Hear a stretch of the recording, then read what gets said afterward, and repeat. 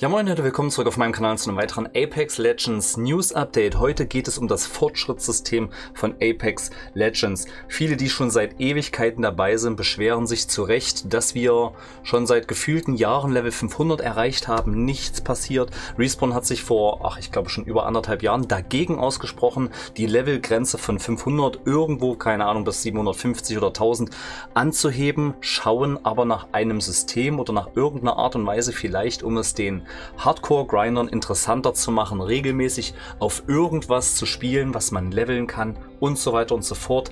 Was aber nicht heißt, dass die Levelgrenze nicht doch tatsächlich noch angehoben wird. Ich gehe tatsächlich davon aus, dass das mit Sicherheit irgendwann kommt, wahrscheinlich bis Level 1000, keine Ahnung, und irgendwann noch weiter weg bis 1500, kein Plan.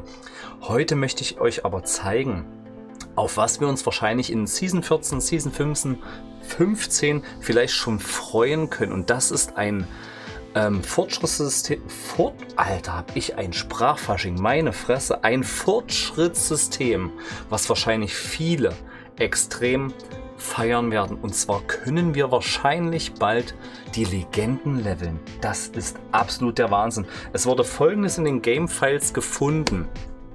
Level 500 Gun-Charms für die Legenden. Wenn man jetzt einfach mal nur kurz so den Blick drüber schweifen lässt, denkt man, Mensch, das ist ja nur eine Level 500 äh, Gun-Charm-Geschichte. Aber schaut mal genauer hin, wir sehen von links nach rechts Lifeline, Gibby und Octane Gun-Charms 500. Ihr seht links, Lifeline kann es nur sein, diese zwei Erste-Hilfe-Kreuze in der Mitte sehen wir so eine EKG-Linien. In der Mitte sehen wir ähm, dieses rote Gedöns, das sind die Pfeile, das ist das Logo von dem ähm, Airstrike.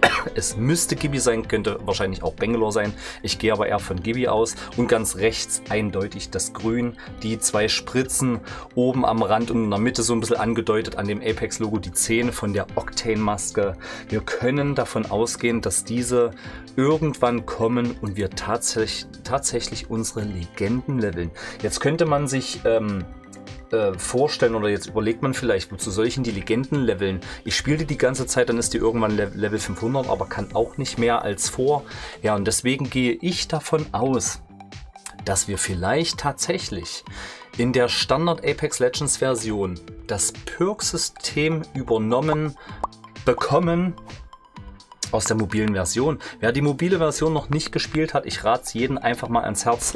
Ähm, testet die mal. Die macht unwahrscheinlich Bock. Man muss sich natürlich darauf einlassen, weil die Steuerung sehr, sehr gewöhnungsbedürftig ist. Aber in der mobilen Version gibt es ein Perk-System.